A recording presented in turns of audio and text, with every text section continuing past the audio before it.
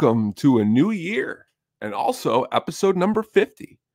My name is Tony, and I'm here to, well, have a good time, like always, talking music, having chats, and seeing what's what about music and everything about that and live and this and that. And I'm just saying a bunch of words right now to add up to uh, meaning that I'm just glad um, to get started on this new year. I know it's been a couple it's been about been about 10 days since I spoke to you last.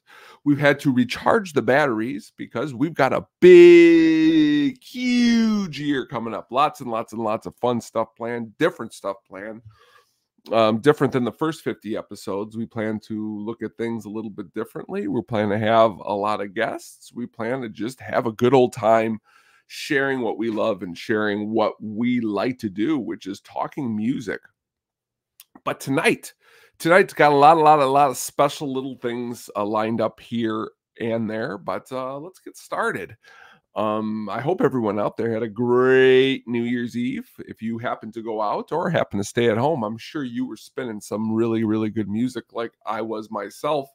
Um, when you're putting together a list or you're at a party or you're just entertaining um, one or two people, you know the main goal is is just to feel good no matter what kind of music you listen to. Um, here at the hookup on music podcast we seem to like a lot of music.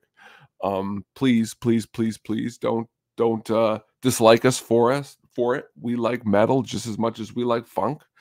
You know we also like reggae and we also like punk. You know we like a little bit of everything. You know we like a little bit of r&b you know we like to get classic. Maybe we like some music from the 1930s um, going forward, um, any kind of music that you enjoy, you can know that this is a great place for you to come and be able to just continue to hear, you know, music and good stuff and things that you enjoy. And well, we're going to open up the door a little bit and let you also join in and talk with us about things that you enjoy. So please, please, please, please, please, please always reach out and and please not only to myself but to uh anywhere else that you see we're at, please, please spread the word because we do enjoy, love talking music. That's really what this is all about. Um, some of us have lost people in our life, and well, a good way to remember those people or just remember good times is to share through music. And that's something that I've learned from a long time ago.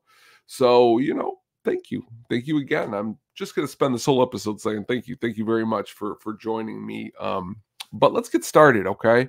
What are you listening to, or what have you been listening to, or what has been up? Um, over on this side of the this side of the um listening dial, we we are always listening to a lot, a lot, a lot of different stuff. Um, some some some some really really really really interesting things that we like to listen to let's let's let's dig in here and see what we got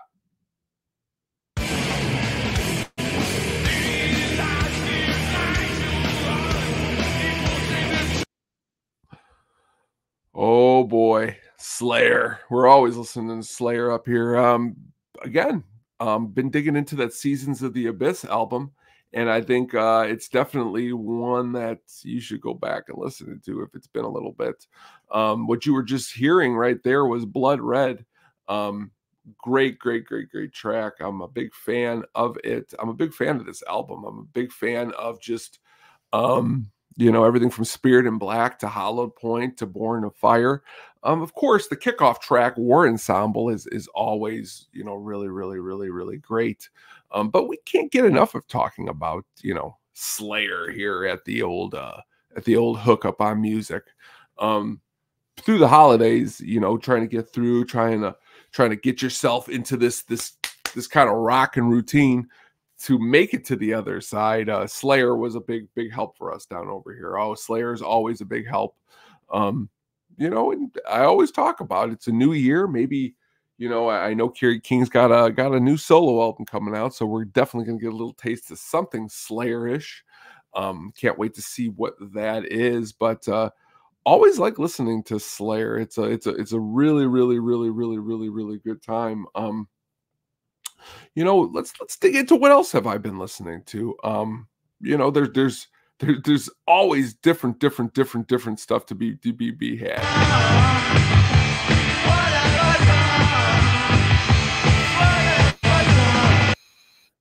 Well, let's just jump right into what we're here for tonight. We are here tonight to talk a little bit about um, a little band called The Clash. And they're a very, very, very awesome album, London Calling. Um, we're going to go a little bit deeper tonight, a little bit of a track by track basis. We're going to plan on doing this a little bit more as we go along just kind of uh, digging more deeper into albums because, well, that's what we love to do. Um, we like to take wide turns too, you know. We like to talk about Slayer and then talk about something like The Clash. You know, you may catch us talking about something like the Isley Brothers, and then sneaking in something like, you know, uh, you know, I don't know, Bob Marley. You know, it's reggae to funk is, is an easier thing, or you can go from Bob Marley to Black Sabbath. You know, a couple B bands. Um, you know that's that's what we're always going to be doing here um, down at the hookup. But uh, London Calling, okay, another great, great seminal album that I think um, definitely you need to uh, dig deeper in. And what we're going to talk about tonight a little bit is, well, we're going to talk a little bit about, well, just a lot of cool things about it, you know, because I decided that, well, since we are having a new year, we should just start off with something that is extremely awesome, like the London Calling album, okay, which was released in 1979. Wow, man, time flies. You know, three years before Moi was born, this is coming out in um, the United Kingdom, and then January of 80 is released in the United States. Wow, I can only imagine being well somebody who is given this copy of this album and sitting down for the very first time a lot of people like to think of it as more of just a, a punk album because it, it, it, includes lots and lots and lots and lots and lots and lots and lots and lots of different different sounds um, a lot of different soundscapes um, we've we've talked about different songs on this this this this album throughout time here um, but we're gonna we're gonna focus a little bit on the second half of the album is is the goal. Um, also while praising that first half because the first half is just great, but I think the first half is where a lot of people I think know a little bit more about the band and well where they where they where um you know where they're from or where they were coming from. They have a lot, a lot, a lot of good tunes.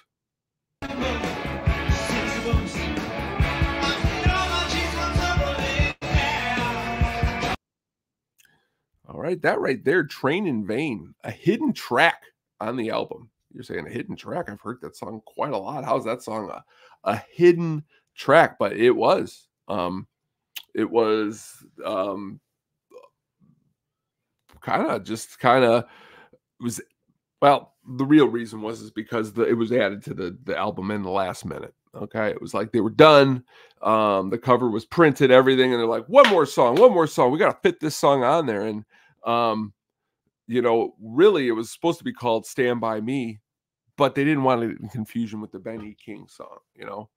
You know, you don't want to be in confusion with Benny King in any way, shape, or form because, well, Benny King is awesome also, just like the Clash. But uh the Clash, you know, they said, you know what?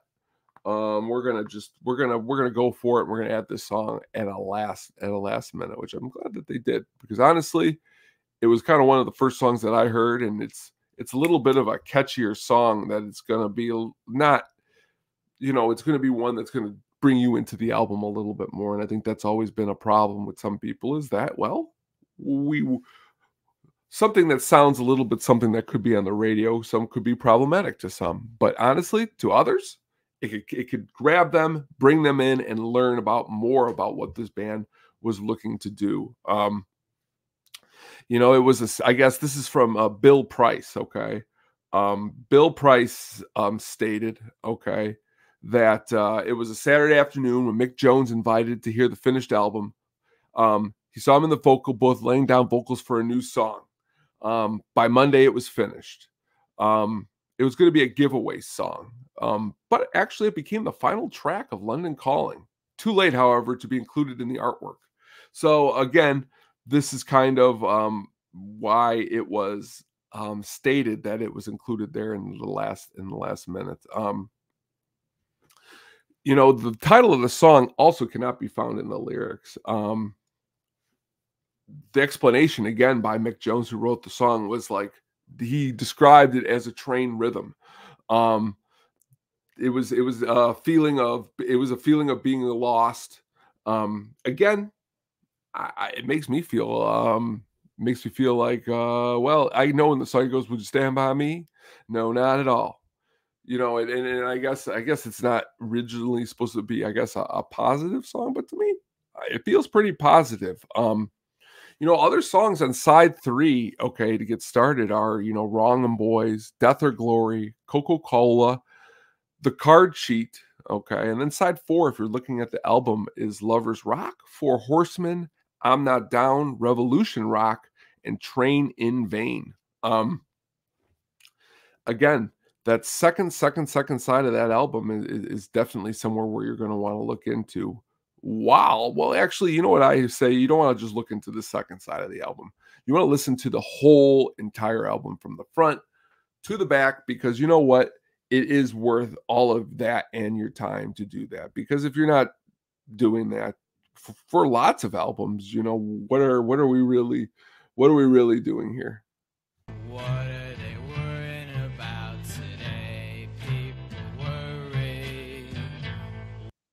Violent Femmes.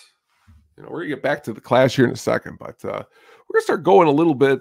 You know, we're talking about one thing. Maybe maybe a thought comes across my mind. Um, the Violent Femmes, Violent Femmes, the Violent Femmes have been on my mind for a lot for for quite a few uh, weeks now because number one, they're different. Okay. And that's why they've been in my mind because the Violent Femmes are different. But that debut album, if you have not sat down and listened to that debut album, I would say go and do that. Go listen to that debut album and come back and let me know. It's a self-titled debut album from 1983. Okay. Um, really, really, really, really cool. Um, we've we've talked about it before on the show. Okay. But uh it just keeps sticking it keeps sticking, it keeps sticking, it keeps sticking. Um, you know, just along with the clash, you know, the clash will always just keep sticking with us here. Okay.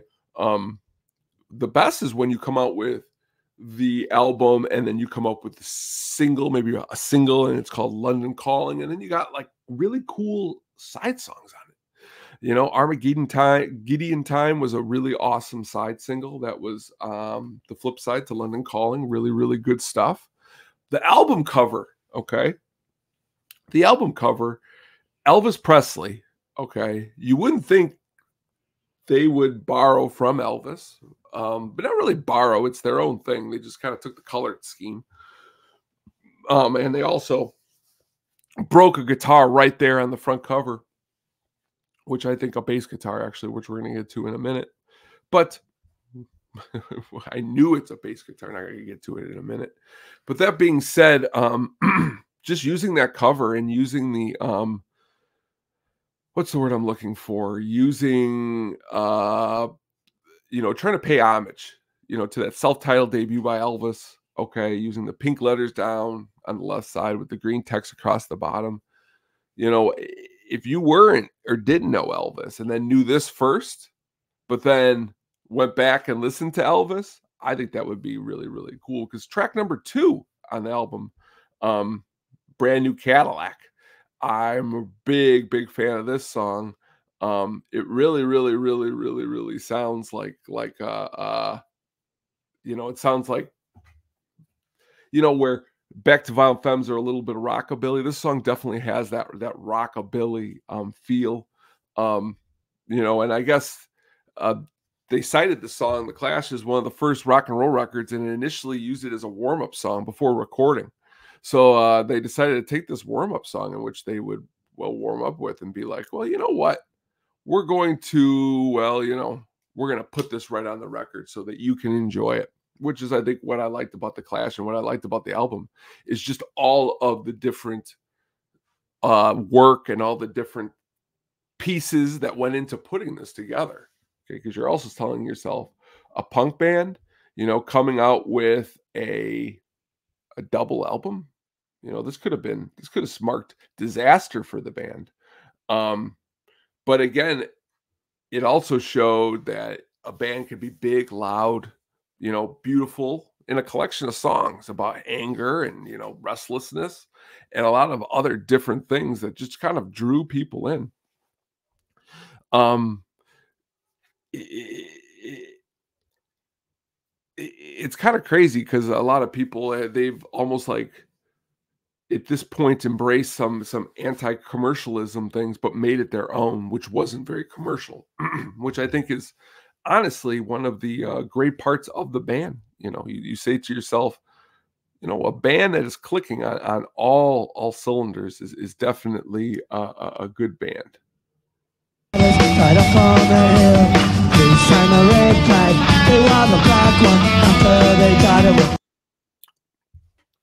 you know, just sitting down and listening to this again for the show.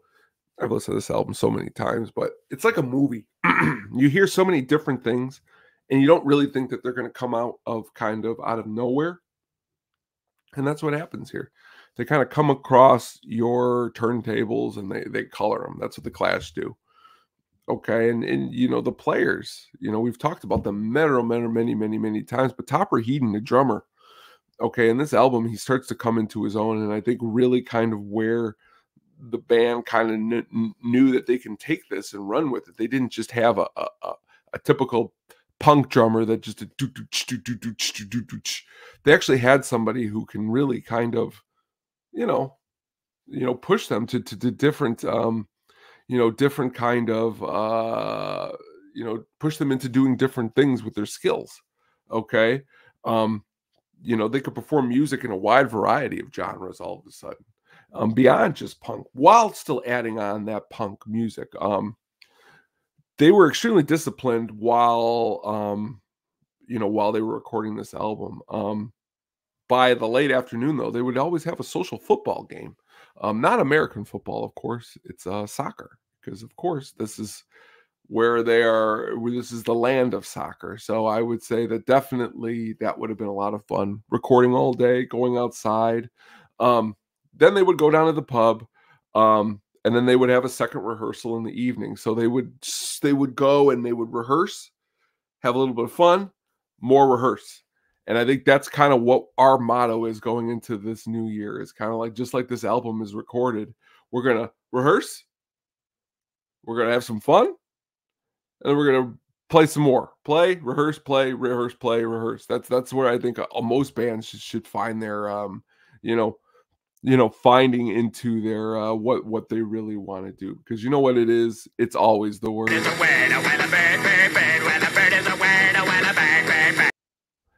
Because I say it's the word, it is the bird, and it is the word. And you know, I'm shocked they didn't cover that song. They would have been an awesome cover on the London Calling album a little bird is the word.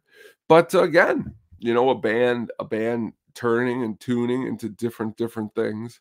Um, I really just think that they were were were, were just just just lots of different songs. Okay, the Guns of Brixton was the first uh by the bassist Paul Simonon, and um, you know he he was doubtful of his lyrics at first, uh, but the song itself is about a paranoid outlook on life. Um, but they kept working on it and working on it. And I think that's their thing. You know, on this album, they worked and they worked and they worked and they worked. Okay. On that second half of the album, okay, you know, the first half, Rudie can't fail, but the second half, okay, you know, the work that you can just tell that was put into Revolution Rock it, it is definitely, definitely, definitely awesome. Um, I just think they they they they were, were really really really really really thinking that revolution rock was going to be the last track on the album and then they kind of just threw in uh, train in vain was added in the last minute. Um it's it's a it's a it's it's a good it's a good reggae song. Um it's a good um i think it's a good way to have possibly ended the album even though that's not how the album ended. But uh sometimes when things materialize like that where where it's supposed to end but then it doesn't it gets stronger that's where i think sometimes we find some of our our, our greatest uh, influence in, in in in rock you know? That bass on that front cover busted up okay? It, it's it's cool that uh you know it's cool with with rock in general or music in general or whatever music genre is when you can get some of these artifacts and save it you know, and I think definitely getting that bass and, and putting that aside is definitely um really really really really really really awesome. You know and and just you know and back to paul though uh he said he smashed it though out of frustration um that the when he learned the bouncers of the concert were not allow the audience members to stand up out of their seats Ooh, I would say that that's a good enough reason to smash your bass if you're the Clash, especially during that time period. That's pretty punk. Okay, I might be a little bit wrong, but I think that doing something like that is is is really, really, really, really, really, really, really, really crazy, um, and cool, crazy cool, um, because you. What I think was crazy wasn't the smashing of the bass, was that um, right then the picture is um, snapped by Pennie Smith. Okay. Um, Pennie Smith, an English photographer, right there, right at the right moment. Um, you know, she's she has uh, photographed everyone from Led Zeppelin to Primal Scream to Oasis to the Strokes. But I think, you know, that front cover, that one is etched into people's minds just because, you know, you're saying to yourself, you got the clash, you got that that that, that iconic that moment right there.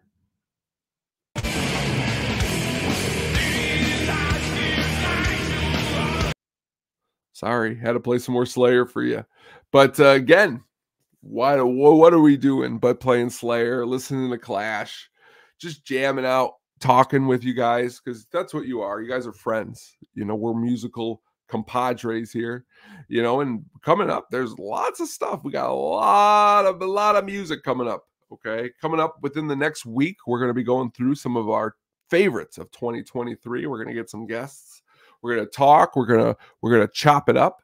Um, because we're always curious out there to see what what is being listened to, you know, in the you know in the ever in the other in the up in what you are listening to in the upcoming months because we got a lot of stuff coming up in the musical uh, album list. We got a lot, a lot, a lot, a lot of goodies. Okay, a lot of goodies, and it's curious to see just you know Green Day is going to have a new album coming out.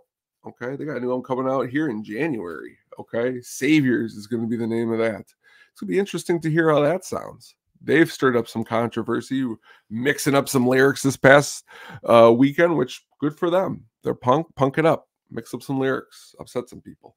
That's what music sometimes is for. It's to to bring up those emotions, not just the positive ones, but sometimes the not so positive ones.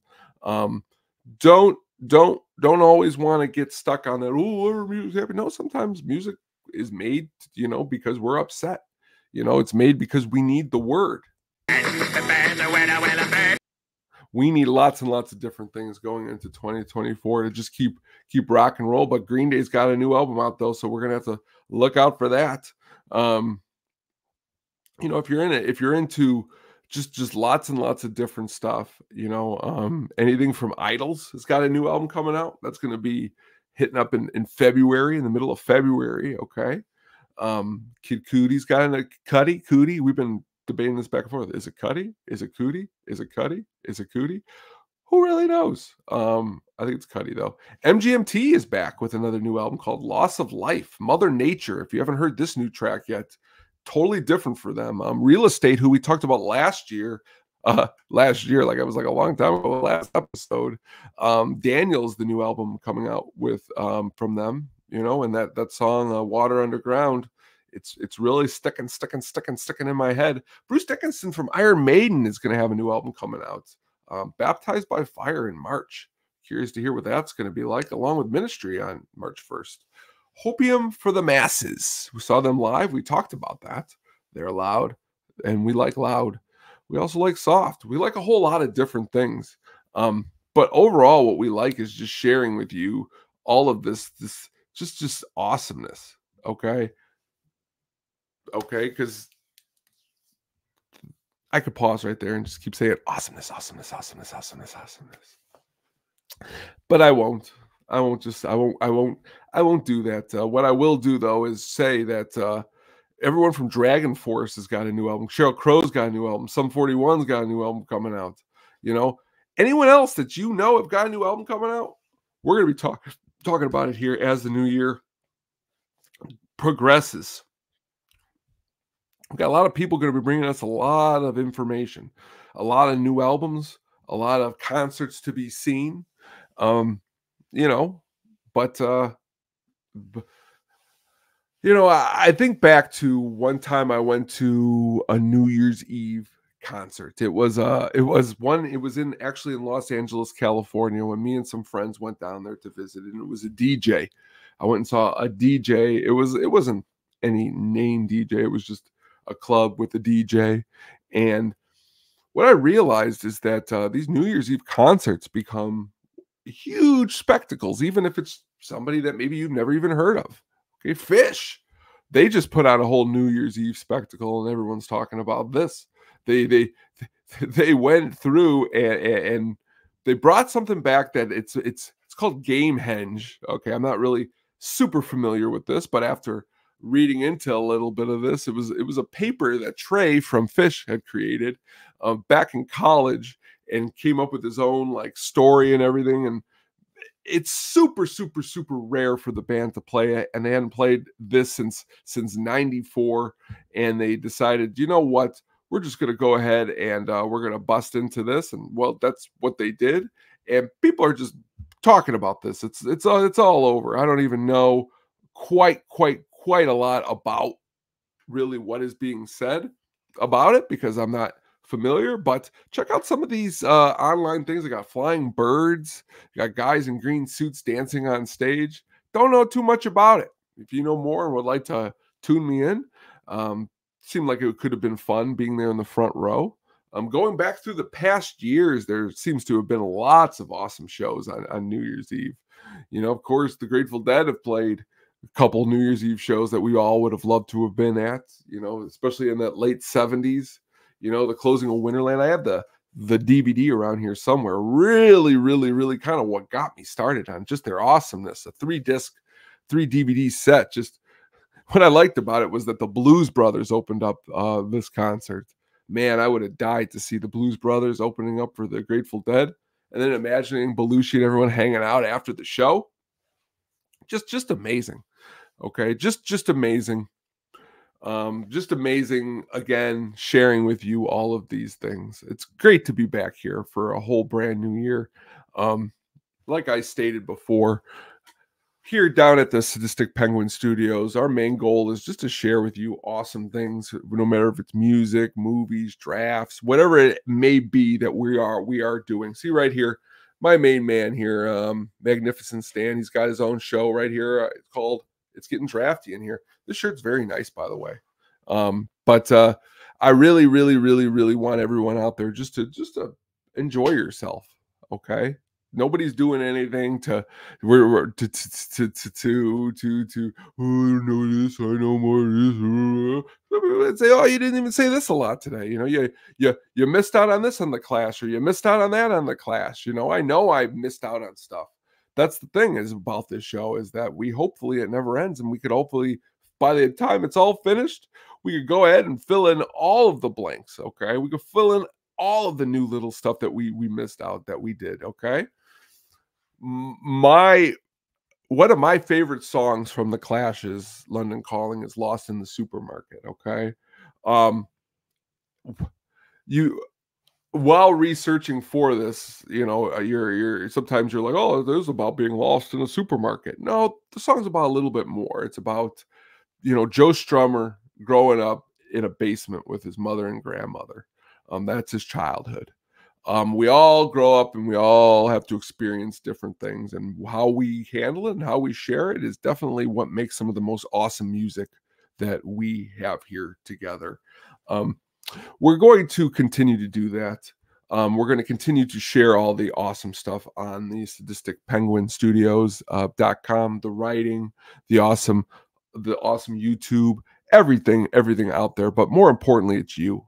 It's you, the people who just love to listen, like to talk about music, and just like, well, spending time with each other. So thank you. Thank you so much.